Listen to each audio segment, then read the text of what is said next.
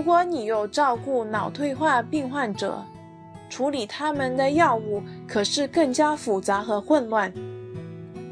首先，你需向医生和药剂师查核你的家人或朋友的药物是否需要服用所有的药物，以及这些药物的药效与其他药物有否冲突。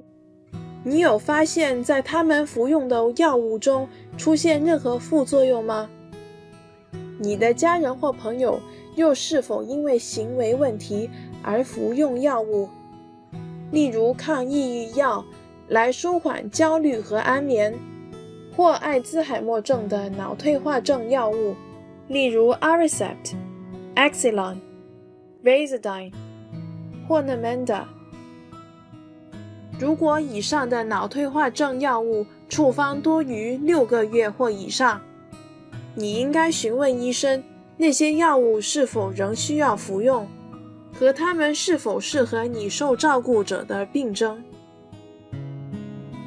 一旦药物已被医生检阅，你需要监护你的家人或朋友是否正确的服用药物，设立一套药物管理组合，一个药丸自动输出器，或亲身监管。都是一些好方法去观察你的家人或朋友是否能独立生活。更多资讯可浏览前一段影片。设立药物管理系统。可是你的家人或朋友未能独自生活，你在管理他们的药物时可能会遇到以下的困难：首先，他们可能无法认知药丸。或认为他们是不需要服用这些药丸，或者他们认为药丸是有毒而拒绝或回避服用。他们可能有吞咽药丸的困难，又或者他们以为自己已经服药了而不想再次服用。还有，他们可能认为医生什么都不懂。导致那些处方给他们的药物是不适合他们的。以下是有助你家人或朋友服用药物的方法。首先，要求医生清楚列明处方，令你可以显示给你家人或朋友看，确定他们是有需要服用那些药物的。或者方便起见，你可以贴在冰箱上。如果你的家人或朋友还能识别和理解，可以在网上搜寻药物，然后展示给他看。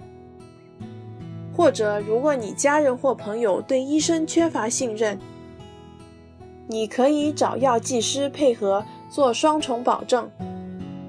如果你的家人或朋友吞咽药物有困难，你可以尝试把药丸压碎或藏在奶酪或冰激凌里。但之前要确定药物是可以压碎服用的。还有，为减少你的家人或朋友服用药丸的数量，看看药物有没有缓解制剂的选择，和药物有没有药水和药贴的选择。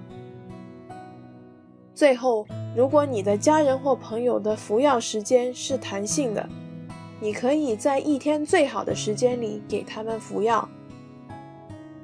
例如，患有脑退化症的人常于傍晚感到焦虑或抑郁。对于有日落综合症的人，并不建议与这个时间服药。希望这些建议可以助你帮助不能自己管理药物的人服药。